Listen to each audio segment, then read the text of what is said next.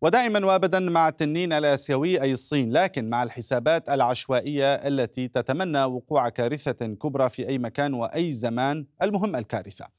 الحسابات الألمعية تضافرت واستقتلت في تداول منشور يقول استعدادات كبيرة للجيش الصيني وإعلان حالة التأهب القصوى بشكل مفاجئ ورفع الجاهزية القتالية ونشر غواصات وفرقاطات عسكرية على الحدود الجنوبية لجزيرة تايوان. قد تنطلق عملية تحرير تايوان من الهيمنة الأمريكية في أي لحظة.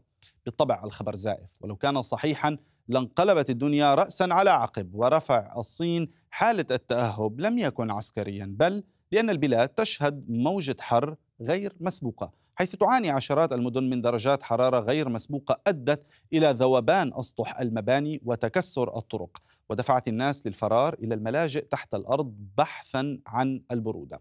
68 مدينة صينية رفعت مستوى التحذير للون الأحمر.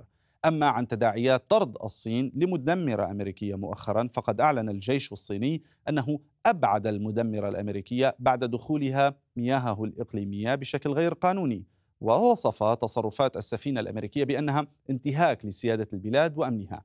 فيما أوضحت البحرية الأمريكية أن انتشارها في بحر الصين الجنوبي يأتي لضمان حركة ملاحة حرة ومفتوحة في المحيطين الهادئ والهندي. وفي الحقيقة هذه الحوادث معتادة وتكررت كثيرا خلال السنوات الماضية ولا توجد حالة تأهب قصوى ولا من يحزنون.